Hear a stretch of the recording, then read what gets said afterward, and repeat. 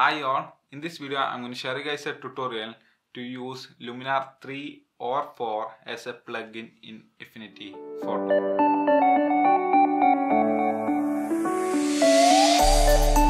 To use Luminar 3 or 4 as plugin in Affinity Photo, first you need to install this Luminar 3 or 4. So after installing this Luminar application, open up your Affinity Photo, head over to Edit, Preference, Photoshop plugin and from there choose add option and navigate to the folder. See program files skylum and luminar and choose that folder.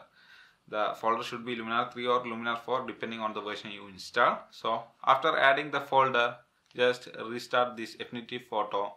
And that's it. That's how you use plugin in affinity photo. And if you are finding this luminar 3 or 4 option as grayed out in affinity photo head over to your layer panel right click the layer and choose rasterize as this plugin or this filter plugin of Luminar 3 or 4 can only be applied to pixel layers. So we need to rasterize the our regular photo layer to use this Luminar 3 or 4 plugin.